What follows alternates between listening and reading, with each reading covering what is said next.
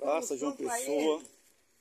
Café da manhã, Então isso aqui, Bolo. quando Deus fala para ele café, que ele se arrependa, pão com salsicha. hoje, e suco. que nós somos Tá eu aqui. privilegiados o quanto Tá o pastor Por quê? Paulo Porque conosco.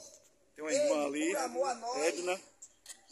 Tudo, aí pregando. Um Rose E Edinaldo. à nação de E o Israel. pessoal aqui na praça no dia Mas 16 do enquanto 6, ele dormisse, aguardando o café da manhã. Jesus viesse e ele não conhecesse. Para quê? A Bíblia diz que para que a plenitude do gentil entrasse, para que eu e você estivesse hoje com a oportunidade de se arrepender e o nosso pecado pecado, ser perdoado e o nosso nome escritural da vida. E o gentil não tinha esse direito. sabemos.